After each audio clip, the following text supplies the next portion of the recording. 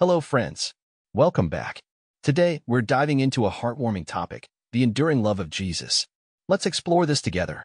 Throughout the Bible, one message shines brightly, Jesus' love endures forever. This love isn't just a fleeting feeling, it's a deep, unchanging commitment. Think about Jesus' actions, from healing the sick to teaching about forgiveness. His love was inclusive, extending to everyone, regardless of their background or past mistakes. In John 15 verse 13, Jesus says, Greater love has no one than this, to lay down one's life for one's friends. This verse highlights the ultimate act of love, sacrifice. Jesus' life and teachings were all about selfless love, a love that seeks the best for others, even at great personal cost.